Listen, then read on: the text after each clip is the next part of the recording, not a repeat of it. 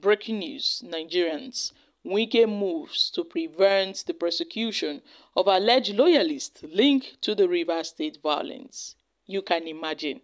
This is unbelievable.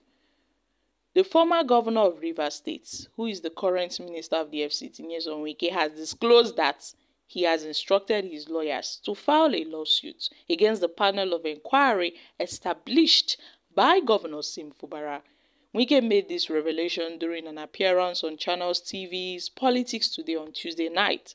And according to Wike, the governor said that it is the handiwork of his political opponents, knowing them, that why are they setting up this panel of inquiry when you know them? That all you need to do is to get the police to arrest them. So why setting up this panel of inquiry? And this lawsuit comes in response to Fubara's establishment of a judicial commission of inquiry to investigate the violence that marred the recent local government elections in Rivers State. It was reported that violence which occurred on Monday was allegedly carried out by the loyalist of Wike, who has been at odds with Fubara, and these attacks resulted in the destruction of three local government secretariats.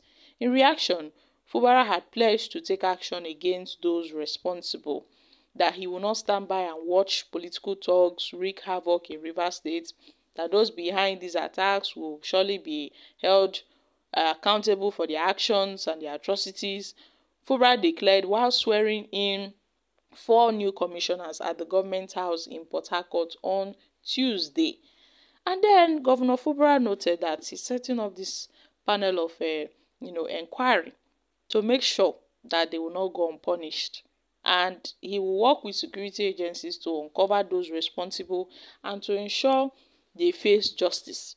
Meanwhile, in a statement by the Office of the Secretary to the Rivers State Government, Dr. Timi Dangogo, on Tuesday, he noted that the Judicial Commission is established pursuant to Section 2.1 of the Commissions of Inquiry Law to investigate the arson, killings and the destruction of property at the local government council headquarters in Rivers State. Guys, this Nyesom Wike is behaving like like a second god in Rivers State, like a mini god.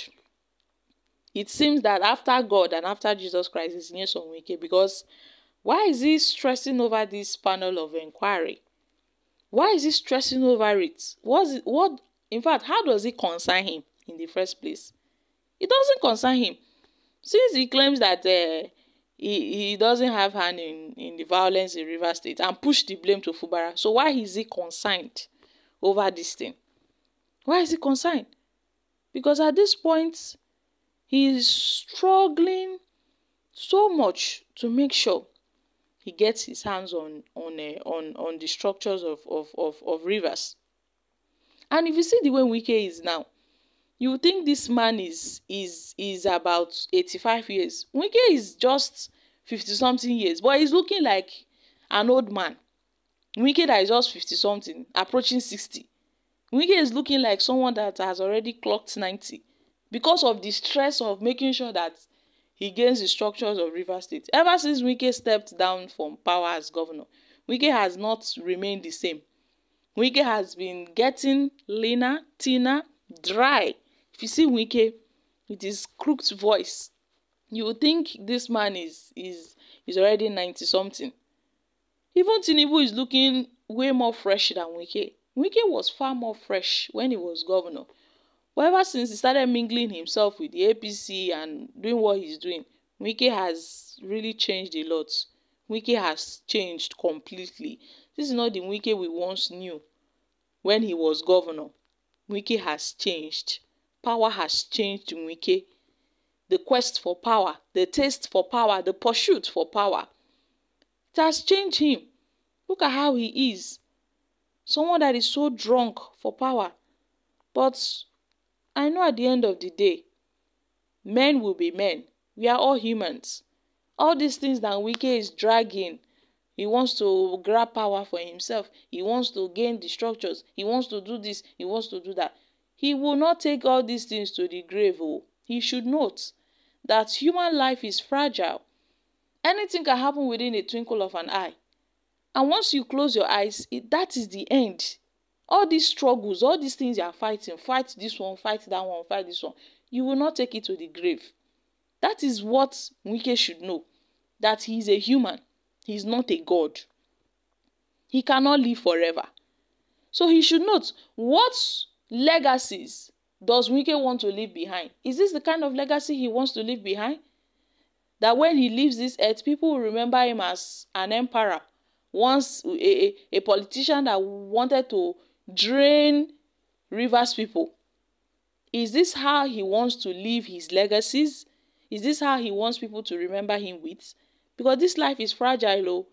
Once life can be taken away at any given point in time, regardless of who you are, it doesn't matter.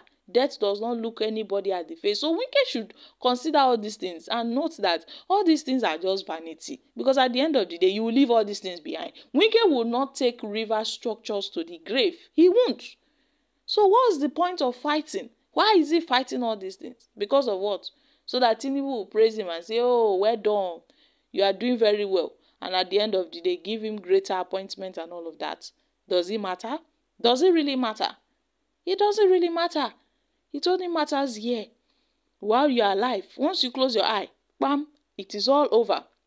So Wike should take all these things into consideration before trying to, you know, do as if he is God. He's not God though.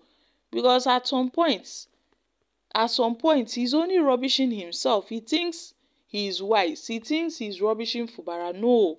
He's tarnishing his image. Wike wasn't like this before. I mean, we all praised Wike for his deeds, his actions, how he fought against, you know, Buhari and all of that when they were trying to oppress him. Wike was not known to be an oppressor, but now he is the oppressor. Wike fought against his oppressors. Now he is now an oppressor. It is not the way to go. Had it been Nigeria, you know, is it was indeed a good country, all these things wouldn't have been happening. The president would have summoned all of them. Those found guilty would face consequences for their actions. But because Mr. President is somehow biased and it is noticeable to all, nobody can deny it. Else, why hasn't Tinubu called Wike to order and say, my boy, sit down. Remove your hands in Rivers affairs and leave Rivers for Fubara so that Fubara can rule. No, because Tinubu is interested in Rivers. That's why. Now, Wike is saying that uh, he will make sure, you know, he's trying to prevent the prosecution of his loyalists because every finger is pointing at Wike that those are his loyalists. Because when they were at those secretariats, burning the secretariat, they were shouting on Wike's mandate, we shall stand. Wike, oh, if no be Wike, no be another person. If you no be Wike, no be another person. So meaning uh, River State has two governors. Wike and uh, Fubara. You see how everything is going. So it will be it's it's obvious because Wike did not deny all these things. He did not deny it now.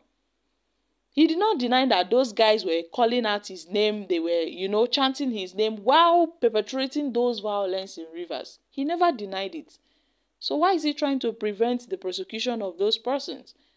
So that they'll walk scot free with what after after everything they've done? This is bad. Wike is being biased. Guys, what are your thoughts on this? I'm dropping here.